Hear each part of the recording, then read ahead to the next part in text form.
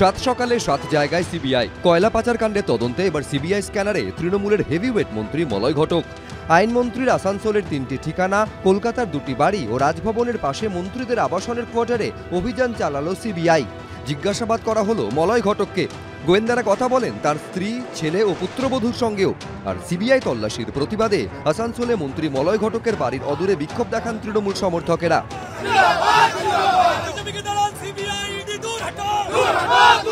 আমার অদ্ভুত লাগল সিবিআইকে যে তারা আমাকে ডাকলেন না, কোনো জিজ্ঞাসাবাদ করলেন না। সকাল আটটার সময় আমি তো ঘুমোচ্ছিলাম। সেই সময় তারা আমাদের বাড়িতে এসে হাজির হলো। যে ধরনের ঘটনাগুলো ঘটছে, সেগুলো হচ্ছে একমাত্র উদ্দেশ্য হচ্ছে মেলাইন করা। চোদ্দ হাজার টাকা যে ক্যাশ, এখনও আমার পকেটে বোধহয় আছে।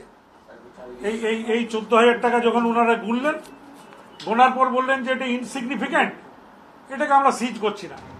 কেন্দ্রীয় বাহিনীকে সঙ্গে নিয়ে বুধবার সকালে তল্লাশি চালানো হয়। আসানসোলের আপ্পার গার্ডেনে মন্ত্রী মলয় ঘটকের বাড়ি এখান থেকে পাঁচশো মিটার দূরে চেলিডাঙ্গায় মলয় ঘটকের পৈতৃক বাড়ি ও একশো মিটার দূরে মলয় ঘটকের আরও একটি বাড়িতে।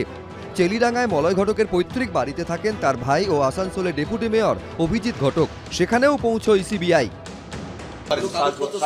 না না না সার্চ ওয়ারেন্ট দেখাননি এফআইআর কপি দেখাননি। কাগজপত্র কিছু নেই না না কিছু নেই।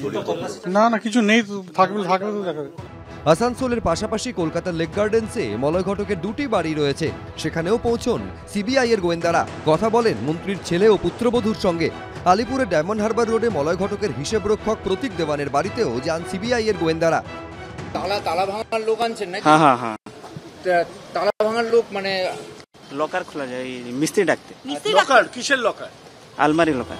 সকাল সোয়া আটটায় রাজভবনের পাশে মন্ত্রীদের আবাসনের কোয়ার্টারে অভিযান চালালো সিবিআই। সূত্রে দাবি, জিজ্ঞাসাবাদের পাশাপাশি নথি খতিয়ে দেখেন তারা। তল্লাশি শেষে বেরিয়ে যান সিবিআই অফিসাররা। প্রকাশ সিনহা, অনির্বাণ বিশ্বাস, ঝিলম করঞ্জাই, এবিপি আনন্দ। সত্য অন্তহীন। সত্যের খোঁজও তাই। সত্য সন্ধানে তাই আমরা অক্লান্ত অকুতভয় এবিপি আনন্দ, নতুন ভাবনার প্রতীক, যা মনে মুক্ত, তথ্যে যুক্ত এবং যাবতীয় সীমানার বাঁধন থেকে মুক্ত। সীমা, না, শব্দটির মধ্যেই লুকিয়ে আছে মানা শব্দটি, যেন চোখ রাঙানি, এক অদৃশ্য বেড়াজাল যা আটকে রাখে আমাদের এক ছোট্ট গণ্ডির মধ্যে, একমাত্র সঠিক খবরই গড়ে তুলবে এক মুক্ত সমাজ। সেই জগৎ গড়ার লক্ষ্যে কোনো সীমানার ঠুকুটি আমরা মানব না। এবিপি আনন্দ, এগিয়ে থাকে, এগিয়ে রাখে।